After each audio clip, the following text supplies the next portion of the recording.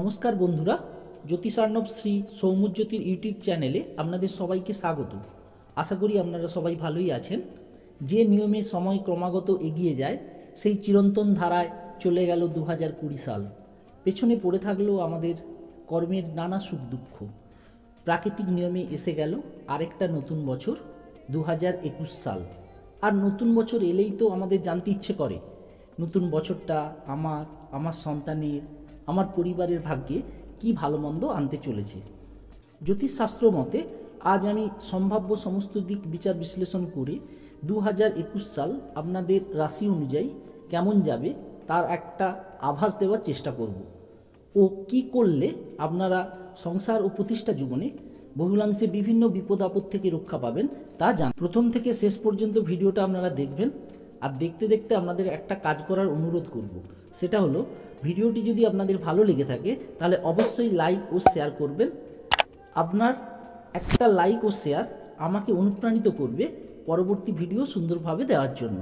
আর যারা নতুন আমার চ্যানেলে যারা এখনও সাবস্ক্রাইব করেননি আমার চ্যানেল ওনারা সাবস্ক্রাইব করুন ও পাশের বেল আইকনে ক্লিক করে দেন। তাহলে কি হবে? আমি আমার চ্যানেলে যখনই কোনো কিছু নতুন ভিডিও আপলোড করব, সঙ্গে সঙ্গে তার নোটিফিকেশান আপনারা পেয়ে যাবেন। আজ আমি বলব মিথুন রাশির জাতক জাতিকাদের দু হাজার একুশ সালটি কেমন যাবে? প্রথমেই আমি আলোচনা করব মিথুন রাশির জাতক জাতিকারা যারা এডুকেশনের সাথে যুক্ত আছেন, তাদের দু হাজার একুশ সাল কেমন যাবে? এ বছরটাতে মিথুন রাশির জাতক জাতিকাদের লেখাপড়ায় মানসিক চঞ্চলতা বৃদ্ধি পাবে, মনোসংযোগের ব্যাঘাত ঘটবে।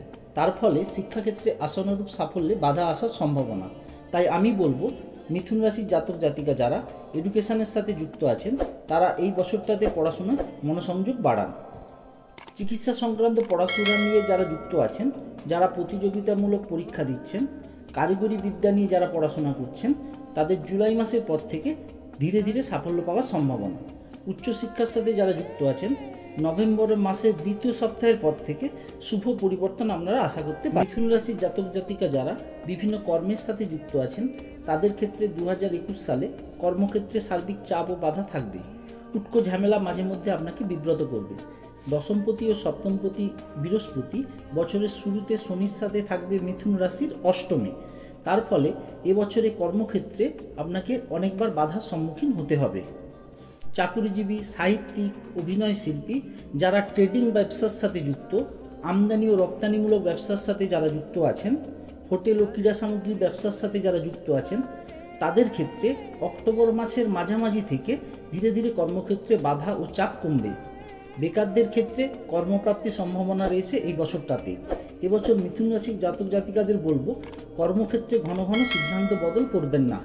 দু হাজার একুশ সালে মিথুন রাশির জাতক জাতিকাদের আর্থিক দিকটা খুব একটা শুভ নয় এবছর আপনাদের ব্যয় বৃদ্ধি পাওয়ার সম্ভাবনা। আর্থিক চাপ থাকবে কিন্তু এবছরটাতে। দীর্ঘদিনের আটকে থাকা কোনো অর্থ এবছরের মাঝামাঝি সময় ফেরত পাওয়ার সম্ভাবনা আছে।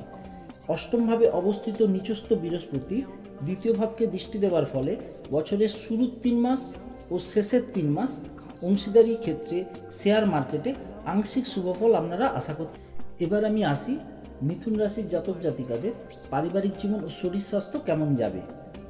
স্বামী স্ত্রীর মধ্যে মাঝে মাঝে মতপার্থক্য তৈরি হতে পারে। অত্যন্ত ঘনিষ্ঠ প্রিয়জনের সঙ্গে প্রীতির সম্পর্ক নষ্ট হওয়ার সম্ভাবনা। এর ফলে মানসিক কষ্ট পেতে পারেন আপনারা। যারা সন্তান সম্ভব, তারা একটু সাবধানে চলাফেরা করবেন, নতুবা মিসক্যারেজ হওয়ার যোগ আছে। প্রেমজ সম্পর্কের মধ্যে যারা আছেন, তাদের ক্ষেত্রে এপ্রিলের মাঝামাঝি থেকে সেপ্টেম্বর মাসের মাঝামাঝি পর্যন্ত ও নভেম্বরের মাঝামাঝি থেকে একদম বছরের শেষ দিন পর্যন্ত শুভ সময়। এই সময়ের মধ্যে যে কোনো প্রেমজ সম্পর্ক পরিপূর্ণতা লাভ হওয়ার সম্ভাবনা।